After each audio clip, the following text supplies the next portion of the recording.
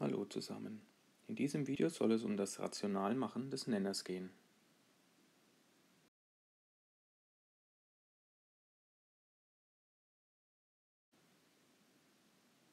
Ich weiß ja, wie begeistert ihr von Brüchen und Bruchtermen seid.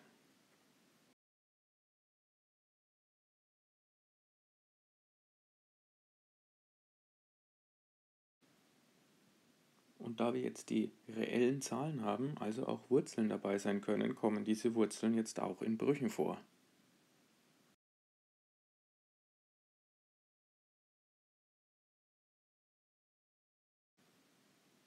Aber keine Angst. Wir starten mit einem ganz einfachen Beispiel. An diesem Beispiel versuche ich euch zu erklären, was es bedeutet, den Nenner rational zu machen. Wie wir jetzt gerade schon gehört haben, geht es beim Rationalmachen des Nenners, wie es der Name schon sagt, darum, dass der Nenner hier unten, weil uns diese Wurzel im Nenner stört, dass die wegkommt. Ja, also es soll aus einer reellen irrationalen Zahl soll wieder eine rationale Zahl gemacht werden. Und das funktioniert, indem man ein bisschen sich was zu Hilfe nimmt, was in der Bruchrechnung einfach eigentlich schon gelernt sein sollte. Und zwar geht es darum, dass wir jetzt diesen Bruch erweitern. Und wenn wir einen Bruch erweitern, machen wir das ja immer mit Zähler und Nenner gleichzeitig, multiplizieren Zähler und Nenner gleichzeitig mit einer Zahl. Und hier wählen wir uns eine Zahl so geschickt, dass wir, wenn ihr die Rechenregeln bei den Wurzeln noch kennt und was man dann, was man machen kann, wenn man Wurzeln aufheben möchte, dann geht es hier ums Quadrieren. Also multiplizieren wir hier ganz clevererweise mit dem Nenner, nämlich mit Wurzel 2. Ich erweitere also den Bruch mit Wurzel 2, das heißt also Zähler und Nenner mit Wurzel 2 mal nehmen. Und anschließend fasse ich das Ganze noch etwas weiter zusammen. Denn Wurzel 2 mal Wurzel 2 ist ja nichts anderes als die Wurzel aus 2 zum Quadrat. Und die Wurzel aus 2 zum Quadrat ergibt dann die 2. Denn die Wurzel und das Quadrat, die heben sich ja gegenseitig auf. Das sind sozusagen Gegenoperationen zueinander. Also bleibt hier die 2 übrig. Das heißt, an der Stelle haben wir es jetzt schon geschafft, dass der Nenner auch tatsächlich rational ist. Nichts anderes ist es. Der Nenner ist jetzt wieder wurzelfrei sozusagen und jetzt wenn man sich das genauer anschaut, ich meine, jetzt müsstet ihr schon glücklich sein, zumindest ein Stückchen. Die Wurzel aus dem Nenner ist schon mal verschwunden. Und wenn man sich jetzt den Bruch noch anschaut, dann ähm, passiert sogar im nächsten Schritt, wenn man das jetzt noch ein bisschen vereinfacht, folgendes, dass der ähm, Bruch sogar ganz verschwindet, glücklicherweise bei dieser Aufgabe. Also am Ende seid ihr total happy, denn der Bruch ist sogar komplett verschwunden. Also es bleibt übrig 2 mal Wurzel 2. Aus dieser, naja, etwas ekligeren Schreibweise hier vorne durch Rationalmachen des Nenners ist insgesamt zweimal Wurzel 2 entstanden. Wir bleiben jetzt mal noch bei der etwas einfacheren Variante. Ihr könnt aber an diesem Beispiel, was wir ein klein wenig gesteigert haben, schon mal selbst ausprobieren, ob ihr das Ganze verstanden habt. Das heißt, ich würde euch jetzt an der Stelle empfehlen, kurz mal auf Pause zu drücken und anschließend könnt ihr die Lösung von mir sehen. Also jetzt auf Pause. So, hier nun die Lösung des Ganzen. Ich gehe es noch mit äh, euch einmal schrittweise durch. Also an dieser Stelle haben wir erweitert mit der Wurzel aus 5. Das Erweitern mit Wurzel aus 5 hat dazu geführt, dass im Nenner Wurzel aus 5 zum Quadrat gebildet werden kann. Im Zähler haben wir, so wie es uns die Rechenregeln bei Wurzeln erlauben, Wurzel 2 mal Wurzel 5 direkt unter die Wurzel geschrieben als 2 mal 5. Das Ganze zusammengefasst mit 3 mal Wurzel 10 im Zähler. Aus dem 5 unter der Wurzel und dann zum Quadrat wird einfach nur die 5.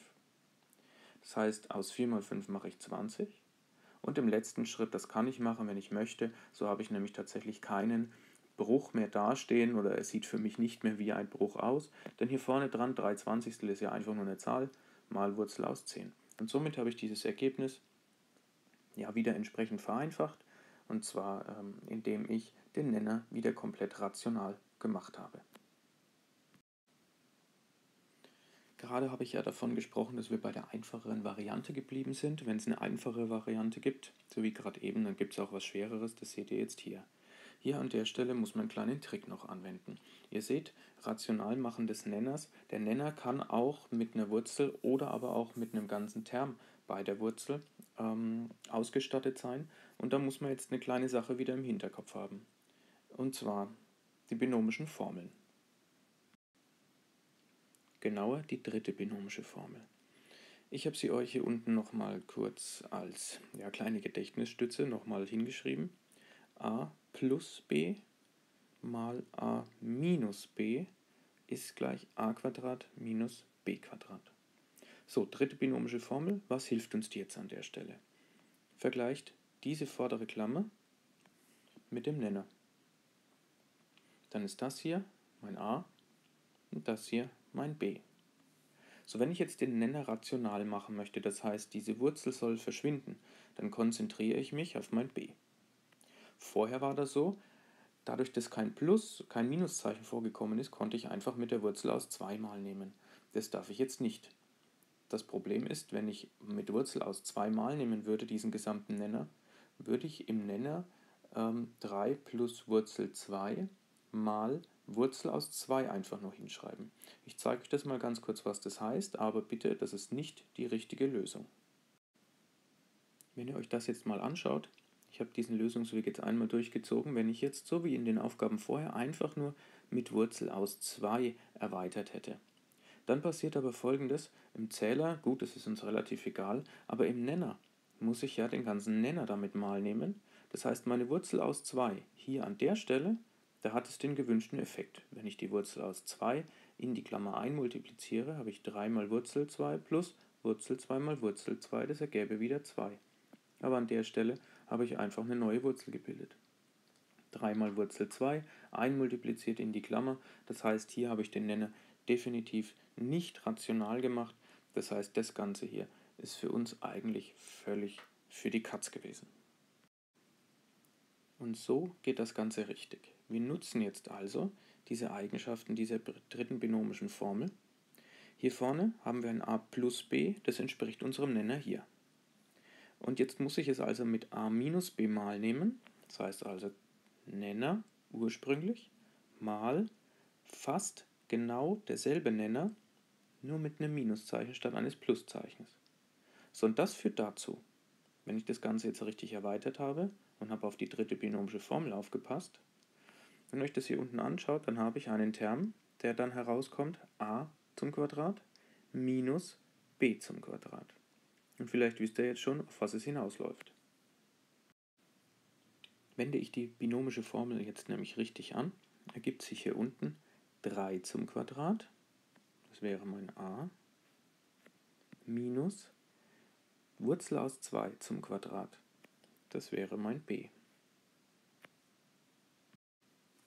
Und wenn ich das Ganze jetzt noch ausrechne, also hier wieder den gewünschten Effekt erziele mit Wurzel aus 2 zum Quadrat, ergibt 2. 3 zum Quadrat kann ausgerechnet werden, ist 9. Und das Ganze jetzt noch zusammengefasst ergibt dann wieder einen Nenner, der eben nicht ähm, irrational ist, also ich habe die Wurzel entfernt und damit habe ich wieder einen Nenner rational gemacht und den Bruch etwas einfacher dastehen.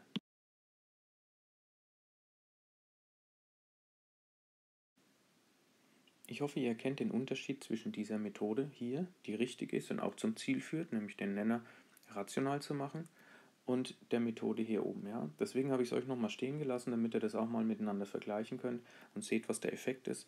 Also, nur mit der Wurzel aus 2 hier oben zu erweitern, nützt uns nichts. Wir müssen hier eine binomische Formel herstellen.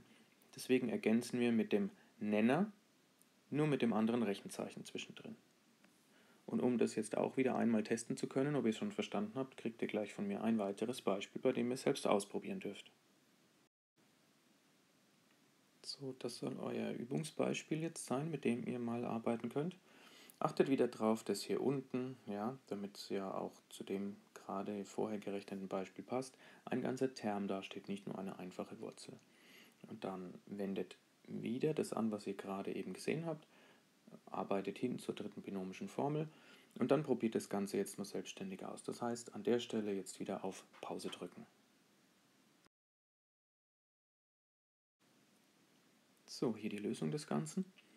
Wenn ihr euch das jetzt also nochmal anschaut, Ich habe hier wieder den Nenner komplett übernommen als Erweiterung, nur mit dem anderen Vorzeichen, sodass an der Stelle wieder die dritte binomische Formel entsteht, was wir ja haben wollten. Im Zähler habe ich diesmal die Situation, dass Wurzel 2 mal diese ganze Klammer auch richtig multipliziert werden muss, also Wurzel 2 mal Wurzel 3 und Wurzel 2 mal 4, das seht ihr hier. Hier unten durch Anwendung der dritten binomischen Formel findet dann diese Wurzel 3 zum Quadrat und minus 4 zum Quadrat statt. Das kann schön sauber vereinfacht werden, macht 3 minus 16. Hier oben Wurzel aus 2 mal Wurzel aus 3 habe ich unter eine Wurzel wieder zusammengezogen, macht Wurzel aus 6 plus 4 Wurzel 2 nur andersrum geschrieben. Und das Ganze noch ein bisschen vereinfacht, ergibt hier hinten diesen Term. Ja, ich gebe euch ja prinzipiell recht, dieser Term sieht auch nicht wesentlich schöner aus als der hier vorne. Aber wir haben wenigstens unser Ziel erreicht, wir haben den Nenner wieder rational gemacht. Das heißt, es kommt keine Wurzel mehr im Nenner vor. Wozu solche Aufgaben denn jetzt gut sind, ja, das werdet ihr noch sehen. Es geht zum Beispiel darum, wenn Brüche mit Wurzeln auch addiert werden müssen, dann geht es immer um den gleichen Nenner beispielsweise, ja, Hauptnenner bilden. Und dann kommen solche Sachen auch zum Vorschein. Also, ich hoffe, ich konnte euch soweit das Rationalmachen des Nenners näher bringen und bis bald, bis zum nächsten Mal.